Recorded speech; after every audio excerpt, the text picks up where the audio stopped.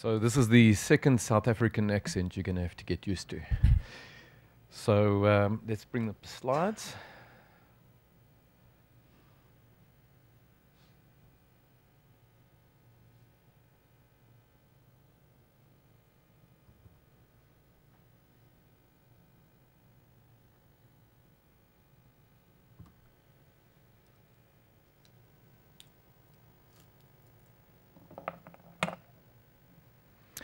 So, uh, Paul, thanks very much for the introduction. Uh, ladies and gentlemen, thank you very, very much uh, for being here today. Thank you for the invitation to speak here. So, I've got to tell you about travel issues for Paralympic athletes, and I've got to do this in 20 minutes. So, this is about a two hour lecture that I've got to condense down to some take home messages in a 20 minute period. So, I thought, what is the best way to start this off? And I think the best way to start this off is showing this slide. So whenever I'm asked anything about Paralympic athletes, it's very easy to answer that question. The answer is yes and no. You see? So the question here is, are things different with Paralympic athletes? The answer is yes and no. So all the things that apply to able-bodied athletes, but then there is like kind of special extra things that one has to think about as well. So why I really, as a sports physician, have gravitated to Paralympic sport is if one looks at sports medicine, you've got a fantastic scope of medicine. It goes from everything from injuries all the way to illnesses. It's about people treating people with chronic disease with exercise. And then you look at the exercise part, and you've got exercise that is used, and you have the human physiology going at the extremes of exercise, which makes this really complex. But now you work with people who have various medical impairments and disabilities. And this puts another layer of complexity on top of all of this. So this makes this the ultimate challenge in sports medicine. So this is really difficult stuff.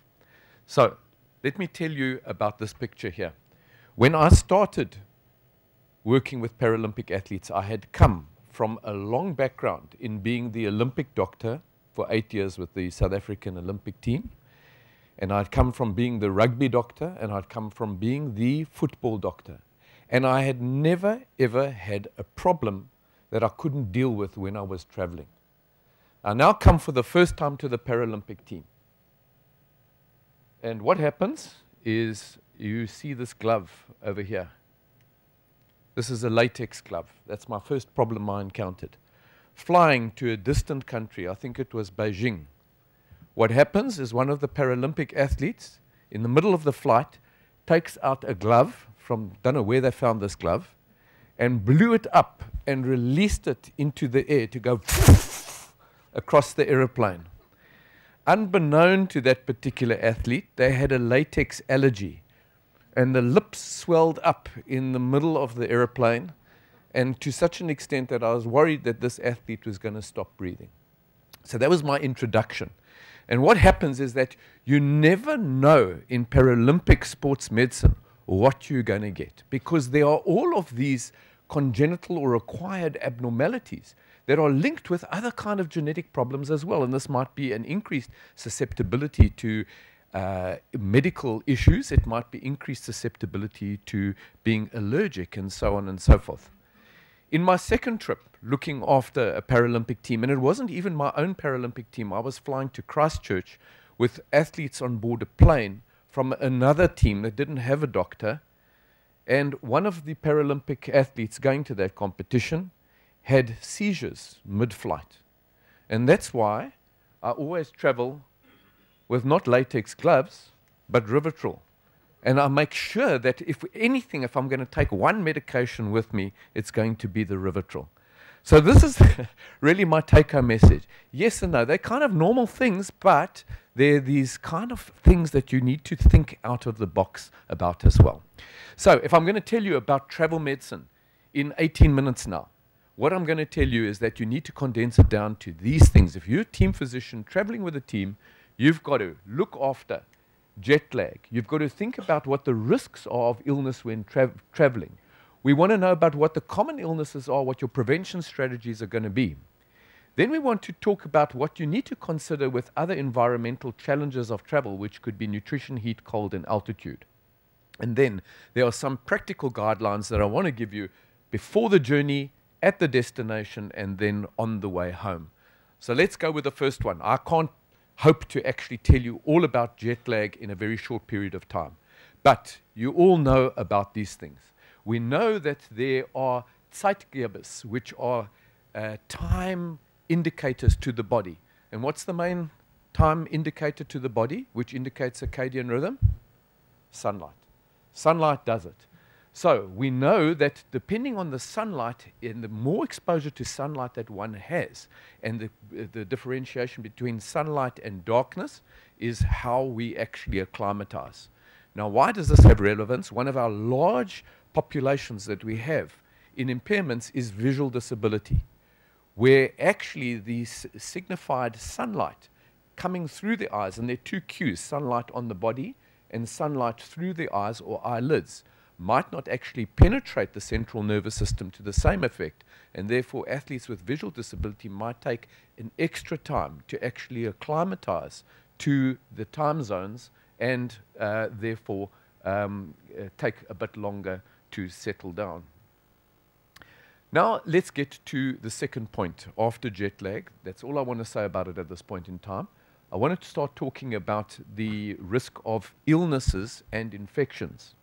And these are data that we've published looking at the incidence of illness during short duration. And what I'm talking about with short duration, I'm talking about less than four weeks tournaments because most of our tournaments that we're going to do are less than four weeks.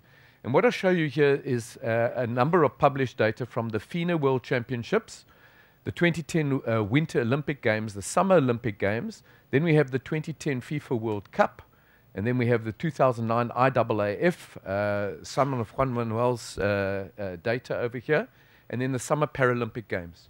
And you can see that there are two peaks here.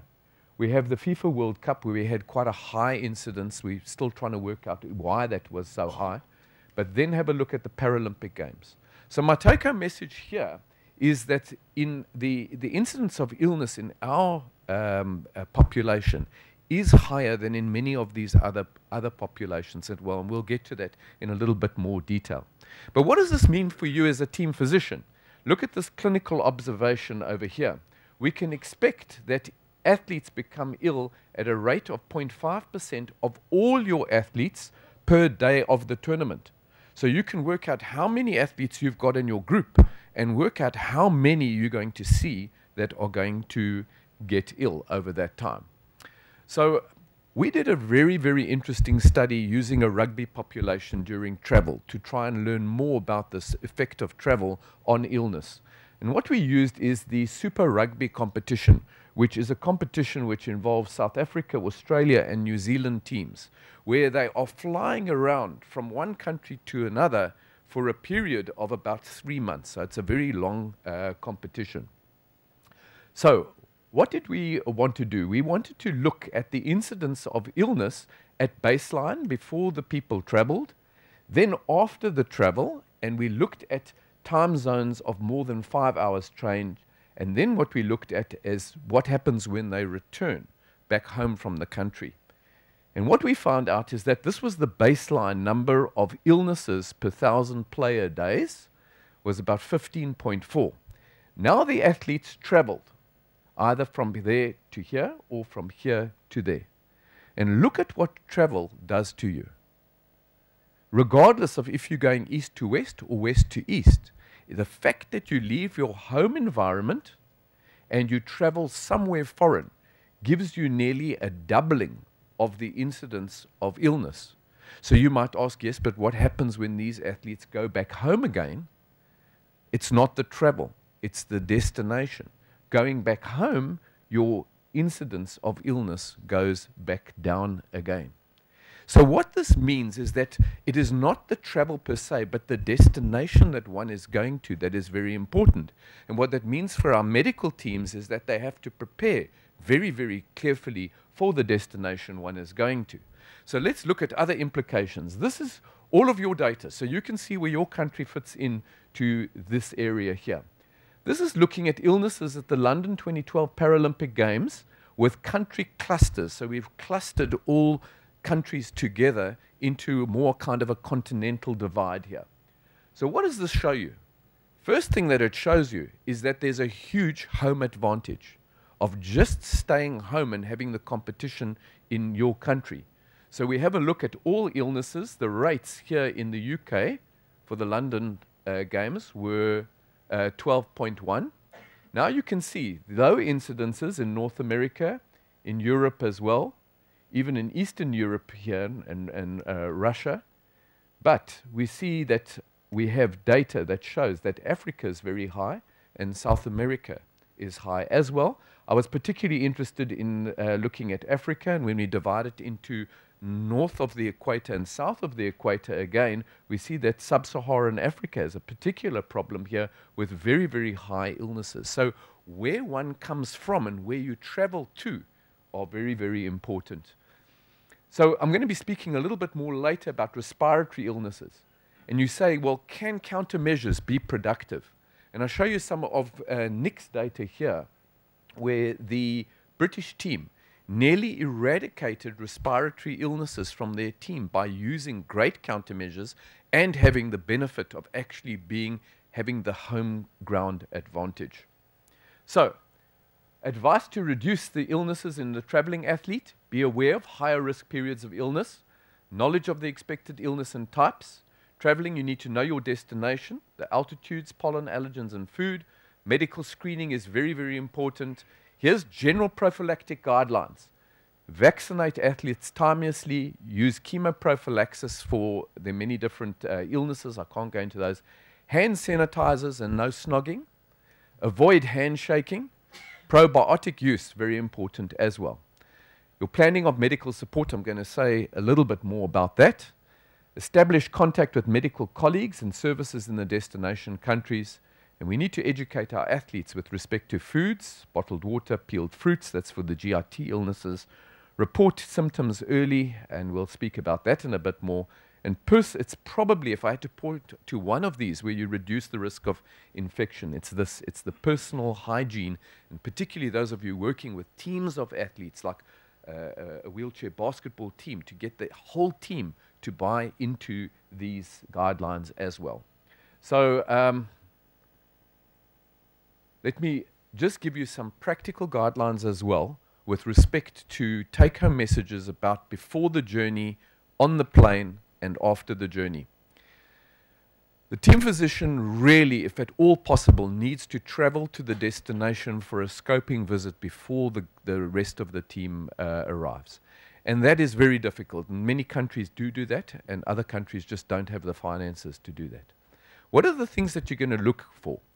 Your access is going to be one of the main challenges if you're looking at athletes with impairment to make sure that there are the correct access, the correct support structures in the room and rooms environment to actually cater for various of the uh, disabilities. What are the environmental factors that you're going to need to look for? And these, this here is the checklist for you as a team physician to make sure that you know these various uh, factors. Number one is get to, uh, get to understand what the altitude of the environment is that you're going to be going to. And we know that there's certain athletes that battle with higher, uh, higher altitudes, and you need to watch out for those. And there are athletes who are absolutely fine at altitude. Then to actually look at the temperatures.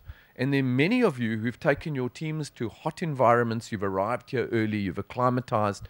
There are many athletes that have actually gone and practiced in heat chambers in order to actually prepare themselves to acclimatize. Then one wants to have a look at the allergens, and I'll show you a little bit more about what are the kind of things that you're going to be looking for. Then the atmospheric pollution. Then ultraviolet radiation, because if you're at very, very high risk, for example, if we were going to Australia or to South Africa where there's the hole in the ozone layer, you would advise your athletes to cover up and use sunblock more often. Access, as I uh, mentioned before, and then food and water quality is very important. So let's just talk about some of those in a little bit more detail. Exercise-induced bronchoconstriction and allergic rhinitis, we need to know what the allergens are in the environment that we're traveling to. So for example, if you were traveling to South Africa, you would know that there are certain trees, certain grasses, and certain weeds that actually release their seeds and their spores into the air at certain times. For example, if you're trees, you don't have any problems up to July. July through to October is peak allergic rhinitis season, and then it tails off. Look at the grasses. The grasses are exactly opposite. Now, you think, is this important? And I look at my colleague Paul here, who's done the allergy testing in the British team and knows where, which athletes are allergic, which athletes are susceptible, and which athletes will probably struggle at that destination. And you can go to a pre treatment program for these athletes beforehand using intranasal corticosteroids and other uh, uh, medications in order to avoid these particular problems. When we're talking about atmospheric particle pol pollution, we can differentiate between coarse fine and ultrafine. We can go and look at these are the four big ones that one has to look for ozone, nitrous dioxide, sulfur dioxide and organic compounds which might also add in to allergies as well. And one knows, according to the WHO, what the guidelines are. This is downloadable from the WHO website, and you can see that the country that you're traveling to either is going to have a problem or might not have a problem. And again, one can use different countermeasures in your athlete population based on that. We know that there is the ultraviolet UVB index scale that is also downloadable from various different websites for this information in the country that you're going to be traveling to. And that really allows you to determine how many minutes of exposure until you burn. And you don't want your athletes to actually burn because that is a systemic problem. A sunburnt athlete is an athlete who has high markers of inflammation.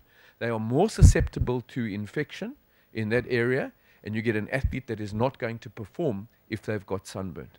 So this is very important as well. And there's moderate, high, and very dangerous. I know that in uh, South Africa or Australia, we're sitting in this dangerous to very dangerous uh, zones.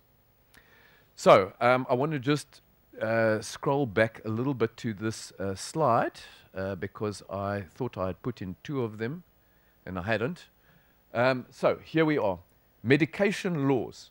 The laws for each country you travel to are different. Remember, in your Paralympic population, you're going to be having medications, many, much more medications than one would is training with an or taking an able-bodied team. Some of these medications might not be legal. For example, there are some Paralympic athletes that need, for example, medical marijuana that they're using. And that is a problem because that might be illegal in a country and there might need to be uh, laws that are changed or special appeals that are made in order to cater for some of these medications. Opiates are another uh, um, uh, medication that is illegal to travel with, and we might need to have certain documentation in place for some of the athletes. Most airlines give a course for adapted travel. It takes about five hours, but it's a very good five hours that you can use. For example, what they do is they instruct the medical team. How, in the instance of an emergency, do you actually get a team of wheelchair basketball players to evacuate the plane? What is the best way to do it? What is the best way of actually lifting those armrests in between all of the seats, or the one that actually goes from the outer seat into the aisle? This is really useful information because you too will use it one day when you're in a seat when you want some more space. So I've learned these little tricks, you see. There's another trick that they will teach you that if any of your athletes get stuck inside the toilet, how you can actually open those toilet doors from the outside. So it's really a worthwhile course to do. Then get the seating plan. And the seating plan, we need to make arrangements well in advance for athletes who are tall, who are using uh, prostheses. And this is a good time to actually start planning for your athletes with high needs as well. So, for example, if a whole team is traveling, they usually give a whole lot of upgrades to that team. You don't know about it because the officials usually use them. But this is not the right thing to do. That is me meant to actually get the athletes with higher needs to that part of the plane that actually can accommodate them uh, better. So the seating plan is very important. Athletes that are wheelchair users should be seated close to the bathroom so that if they do need uh, assistance to actually get to the toilet, it's easier to do it that way. And that also leads into the drinking requirements. A lot of the athletes who are not mobile decrease the amount of fluids they intake on the plane in order not to be forced to go to the, the toilet. And that's a problem because uh, uh, flying is very dehydrating and you want to actually get them going to the toilet as normal or even more. Also know that one hour before you leave, the athletes who are, uh, need assistance, for example, wheelchair users, are loaded into the plane and they're loaded off one hour afterwards. So that prolongs the flight quite substantially. Watch out for some of your athletes if you have a connecting flight getting lost. For example, the athletes who are intellectually impaired, and other athletes, for example, some of our athletes with cerebral palsy, tend to wander around the airport and actually not make the or make everybody nervous getting to the next connection on time. Okay, everybody helps with kit, regardless if you're the doctor, physio, official, everybody needs to actually assist because when you're going to be working with a Paralympic team, there's a lot of paraphernalia that actually moves with, and you've got to actually be strong. So it would tell the medical team you've got to train for your trip because you're going to be carrying lots of things. And then uh, the upgrades for high need uh, individuals, if one can organize that, that is uh, very beneficial. So, in moving towards the end of my talk in the last minute, I want to just talk about uh, during the journey the usual movement guidelines of actually moving the limbs and actually walking about might not be possible for the athletes, but just to encourage as much movement as possible if the uh, physios are traveling with to actually do lower limb massage or use compression garments order that we don't uh, predispose to DVTs. Advise on the hydration, particularly athletes who are adverse to hy uh, um, hydration. Remove prosthetic devices, I'll speak to a little bit more uh, later. Assist to the bathroom and back. And remember anti-infection protocol. I must say that using the anti-infection protocol of using masks, of using first defense, using other um, uh, uh, countermeasures. Actually, the Paralympic uh, community takes this more seriously, in my experience, than our rugby players or soccer players who are very difficult to actually get to actually use these countermeasures. These athletes are much more professional uh, when it comes to this. The journey home. My experience tells me to leave as soon as possible. So as soon as competition finishes, that's the time to actually get out and go back home. My busiest day I've ever had was after competition. I've had, oh, I beg your pardon, alcohol intoxication, sunburn, lacerations, unprotected intercourse, and a sprained ankle, all in the same athlete. No, no, no. so the flight home is very important. Sometimes we put all our planning into the flight there, and then we kind of think that the flight home is now kind of after competition, but the flight home is as important. Remember, the difference is now the athletes are going to scatter. You're going to lose control of the athletes after you've arrived home. Again, you have the same thing, the same issues. You've got to use DVT prophylaxis again. Don't forget about that. But be aware that disease can manifest once you've got home and you've gone back home. For example, if you've been in a malaria area, we've had it, I've had it that one of my athletes have developed malaria 10 or 5, 5 to 10 days after we've got home. Counseling to continue medications, for example, tetracyclines for uh, prophylaxis of malaria. Um, note that new symptoms might still be related to travel. High index of suspicion in a DVT after the flight. Okay, beware of a unilateral swollen leg, a great example of something that might not be applicable to the uh, athletes with impairment because there might not be a leg to compare it to. So, having said all that, I'm sorry I'm two minutes over my time, but thank you very much for your attention.